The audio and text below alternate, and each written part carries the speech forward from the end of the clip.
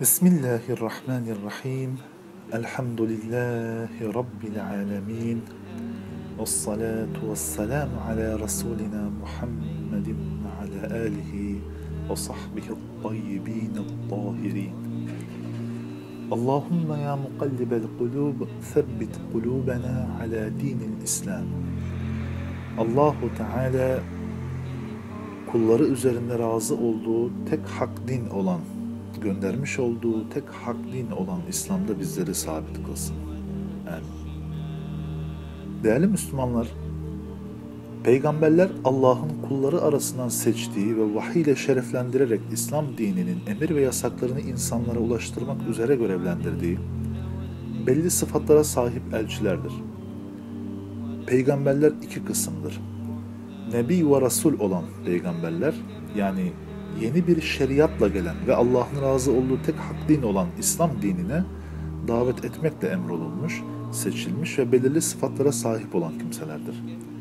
Rasul olmayıp Nebi olan peygamberler ise kendisinden önceki Resulün şeriatını tebliğ ederek Allah'ın razı olduğu tek hak din olan İslam dinine davet etmekle emrolunmuş, seçilmiş ve belirli sıfatlara sahip olan kimselerdir. Bundan da anlaşılıyor ki demek ki cinlerden ve meleklerden nebi yoktur.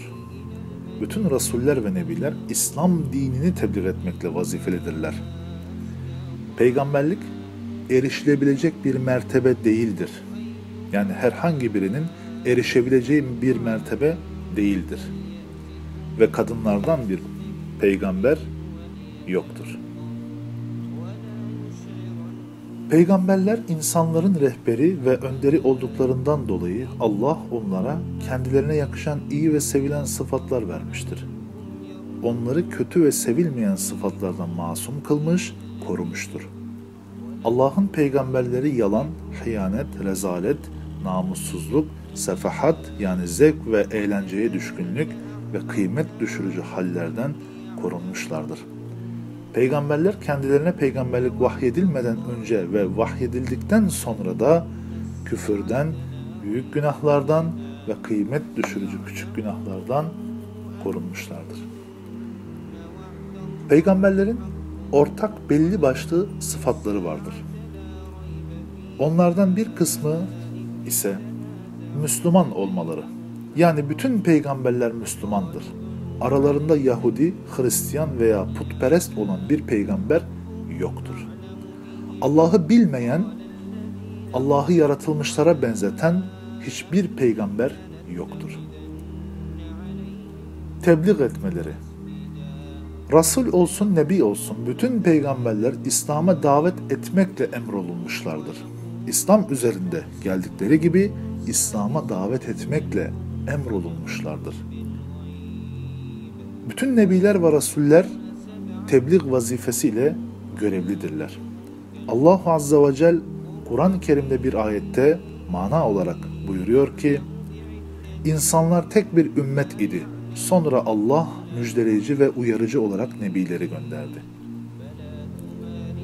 Peygamber Efendimiz sallallahu aleyhi ve sellem ise mübarek bir hadisi şeriflerinde şöyle buyurmaktadırlar. Mana olarak her nebi özellikle kendi kavmine gönderiliyordu. Ben ise bütün insanlara gönderildim. Allah'ın kendilerine vahyettiği emirleri aynen insanlara tebliğ ederler. Tebliğ ettikleri bütün konularda sadıktırlar. Allah'ın emirlerini eksiksiz ve fazlasız olarak tebliğ ederler. Sıdık sıfatları ise peygamberler vahiy gelmeden önce de sonra da sadık yani dürüstlerdir. Asla yalan söylemezler. Emanet sıfatları ise peygamberlerin tamamı güvenilirdirler. Kimseye ihanet etmezler ve kimsenin malını haksız olarak yemezler. Peygamberler insanların en güvenilir olanlarıdır. Emanete asla ihanet etmezler. Allah'ın Resulü Muhammed sallallahu aleyhi ve sellem kendisine henüz peygamberlik vahiy gelmeden önce insanlar arasında güvenirliliği, doğruluğu, güzel huyu ve ahlakı ile tanınırdı. Bu yüzden kendisine Muhammedul Emin yani güvenilir Muhammed lakabı verilmiştir. O zamanın önde gelen kabilelerinden bazıları tüm değerli eşyalarını ve altınlarını ona emanet ederlerdi. İşte peygamberler böyle üstün ve güzel ahlaka sahiptirler. Fetanet sıfatları ise peygamberlerin tamamı en zeki kişilerdir. Aralarında aklı zayıf, anlayışsız olan bir peygamber yoktur. Fetanet zeki olmak anlamına gelmektedir. Bütün peygamberler zeki ve kesinlikle işlerinde zeka geriliği olan bir peygamber yoktur. Allahu Azza ve Cel onlara düşmanlarını verdikleri deliller ile hayrete düşürecek seviyede yüksek bir zeka vermiştir. Bunun en bilindik örneklerinden birisi de İbrahim peygamberin kıssasıdır. Nemrut adındaki zalim kral kendisince ilah olduğunu iddia ediyordu. İbrahim peygambere ben ilahım dediğinde İbrahim peygamber ona mealen benim Rabbim diriltir ve öldürür. Nemrut bunu ben de yapıyorum dedi. Zindandan iki esir getirtip birini öldürdü ve diğerini serbest bırakıp dedi ki işte birini dirilttim, diğerini de öldürdüm. Bunun üzerine İbrahim peygamber ona dedi ki mealen Allah güneşi doğudan getirmektedir. Haydi sen de onu batıdan getir. Nemrut bunu duyunca ne diyeceğini şaşırdı ve cevap veremedi. İşte bütün peygamberler İslam düşmanlarına karşı en güçlü delilleri verecek yüksek zekaya sahiptir. Bu onların fetanet sıfatları gereğidir. Peygamberlerin cesaret sıfatı hakkında ise bütün peygamberler cesurlardır. Aralarında korkak olan asla yoktur. Peygamberler insanlar arasında en cesur kişilerdir. Asla düşmanlık yapan kafirlerden korkmaz ve onlardan kaçmazlar. Sahabeler savaşın en çok şiddetlendiği zamanda Allah Resulü'nün arkasına sığındıklarını söylemişlerdir. Bu da peygamberlerin ne kadar cesur olduklarına dair çok açık bir delildir. Ancak yılan gören insanın yılanı ilk gördüğünde böyle irkilmesi gibi diğer insanlarda bulunan ve aniden ortaya çıkan irkilme yani doğal korku gibi haller onlarda da hasıl olabilir. İffet sıfatları hakkında ise bütün peygamberler şerefli ve iffetlidirler.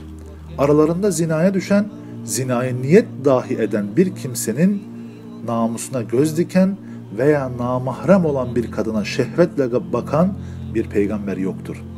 Bütün peygamberler namusludurlar. Kendilerinden en ufak yüz kızartıcı bir olay asla meydana gelmez. Ve asla kimsenin namusuna kötü gözle bakmazlar. Namussuzluk aşağılayıcı ve itibarını zedeleyen yüz kızartıcı bir şeydir. Peygamberler asla değerini düşürtecek şeyler yapmazlar. Peygamberler hakkında bu tür şeyler imkansızdır. İsmet sıfatları hakkında ise bütün peygamberler, istisnasız bütün peygamberler peygamberliklerinden önce de sonra da küfürden, büyük günahlardan ve kıymet düşürücü olan küçük günahlardan korunmuşlardır.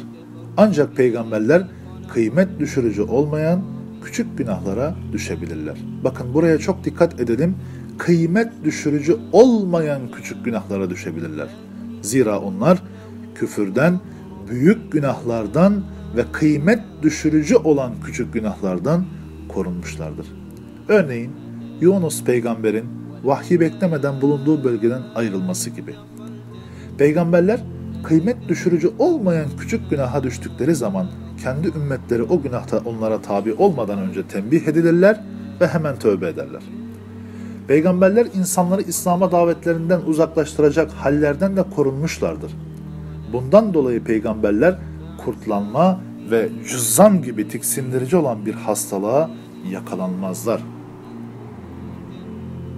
Allahu Teala peygamberlerini onlara vahiy gelmeden önce de sonra da onlar hakkında imkansız olan yalancılık, zina, hıyanet, hırsızlık, rezillik, kekemelik, peltek konuşma, dil sürüşmesi, akılsızlık ve korkaklık gibi sıfatlardan korumuştur. Allahu Teala bütün peygamberleri hem peygamberlikten önce hem de peygamberlikten sonra dediğimiz gibi küfürden, büyük günahlardan ve kıymet düşürücü küçük günahlardan korumuştur. Küçük günahlar kıymetli Müslümanlar iki kısımdır. Kıymet düşüren ve Allah nezdinde kıymet düşürmeyen. Allahu Teala peygamberleri tiksindirici hastalıklardan da ve kötü ahlaktan da korumuştur. Bir üzüm tanesi bile çalmazlar. Haklarında hata yani zelle sayılan ve kıymet düşürücü olmayan bazı hatalara düşebilirler. Adem aleyhisselamın yasaklanan ağaçtan yemesi bu duruma örnektir. Fakat kıymet düşürücü olmayan bir hataya düştüklerinde başkaları onlara tabi olmadan önce hemen tövbe ederler. Bu sözü rivayet eden İmam Taftazani Şerhul Akaid adlı eserinde.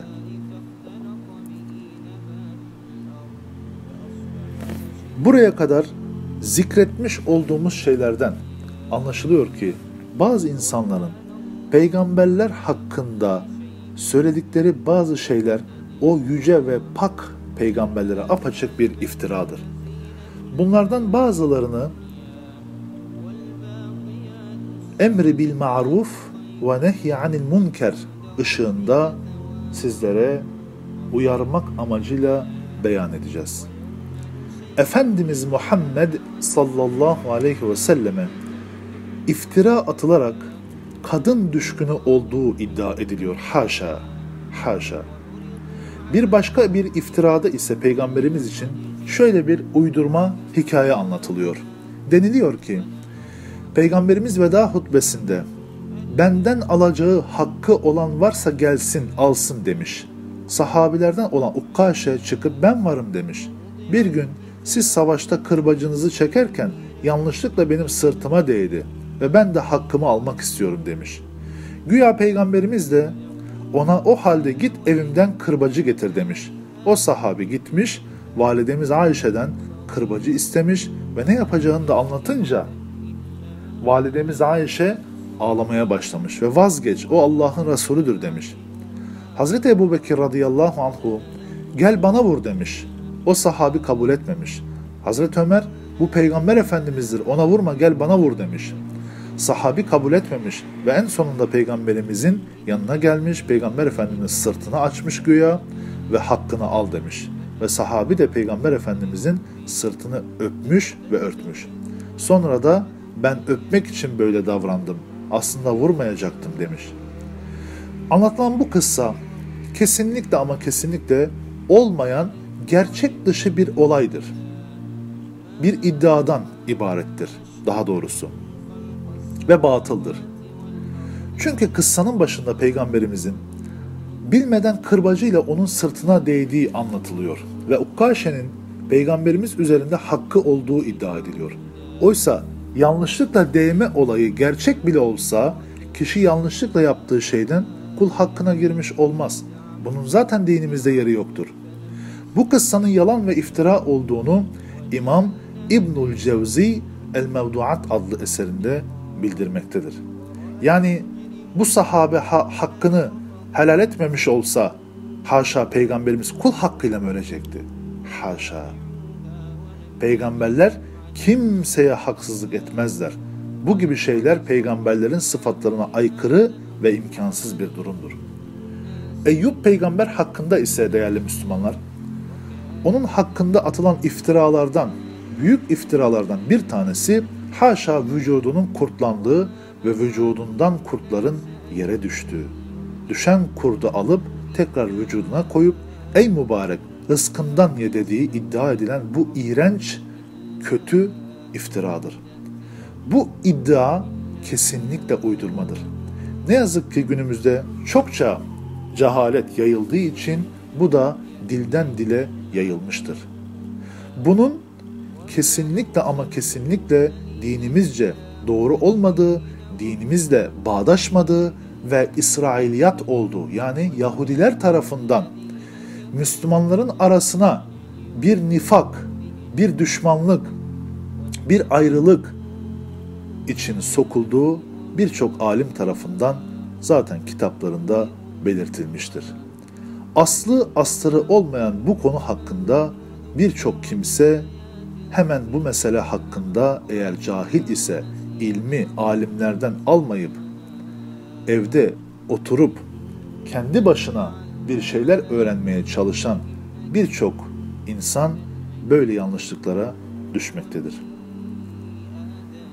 Allah peygamberleri bu tür tiksindirici, nefret ettirici ve uzaklaştırıcı hastalıklardan korumuştur. Davut peygambere atılan iftiralardan biri ise Güya Davut ordu komutanının eşini beğendiği ve onu elde etmek için komutanını savaşın en tehlikeli bölgesine gönderdiği iddia edilmektedir. Ve ayrıca haşa kapının anahtar deliğinden gizlice o kadının avretine baktığı iddia ediliyor. Haşa. Bunu bir peygamber hakkında söylemek İslam inancıyla asla bağdaşmaz ve kişiyi imandan eder. İbrahim peygamber hakkında ise değerli Müslümanlar, Güya İbrahim küçük iken Rabbini tanımıyormuş, yıldıza, aya ve güneşe tapıyormuş, ayrıca babasıyla putları satıyormuş. Haşa! Bu anlatılan iddia, bu kötü, iğrenç iftira zaten Allah'ın gönderdiği mukaddes kitabımız Kur'an-ı Kerim'e zıttır. Çünkü Kur'an-ı Kerim'deki beş ayet-i kerimede Rabbimiz İbrahim'in müşriklerden olmadığını, onun Allah'a iman eden Müslüman bir kul olduğunu bildirmiştir. Musa peygamber hakkında ise iftira atılarak haşa onun kekeme olduğu ve peltek konuştuğu iddiasıdır. Haşa. Bu apaçık bir iftiradır. Çünkü peygamberler en güzel sesli, en güzel konuşan kimselerdir. Onların asıl vazifesi insanların yanlışlarını düzeltmeye çalışmaktır. Bir başka iftirada ise diyorlar ki Musa namazı yanlış kılan bir kişi için suyun üzerinde yürüyebildiği için git nasıl biliyorsan öyle kıl demiş göya. Haşa peygamberler Allah'ın dinini yani İslam'ı insanlara öğretmek için gönderilirler. Asla namazın yanlış kılınmasını onaylamazlar asla Allah'ın razı olmadığı bir şey, bir şeyi asla onaylamazlar. Yusuf peygambere atılan iftirada ise değerli Müslümanlar deniliyor ki, haşa göya Züleyha ile zinaya düşmeye niyetlenmişti diyorlar. Hatta elbisesini çıkarıp önüne geçmişti diyorlar. Haşa. Bir peygamber zinanın haram olduğunu insanlara anlatan bir insan değil midir? Allah'ın emir ve yasaklarını insanlara anlatan, öğreten biri değil midir?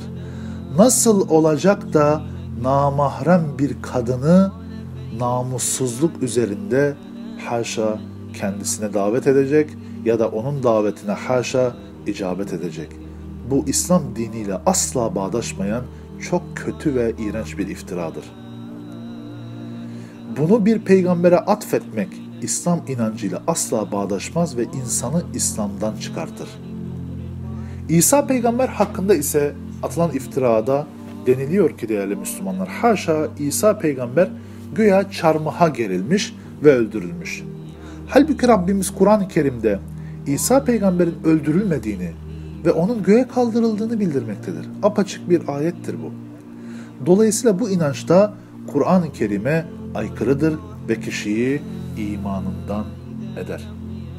Değerli Müslümanlar, zikrettiğimiz bu şeylerin sonucu olarak denilir ki cehalet Kur'an'dan uzaklaşmak, ilimden uzaklaşmak, Allah'ın razı olduğu kişinin amelleri yapabilmesi için ilim öğrenmekten uzaklaşmak bakın insanı nerelere götürüyor.''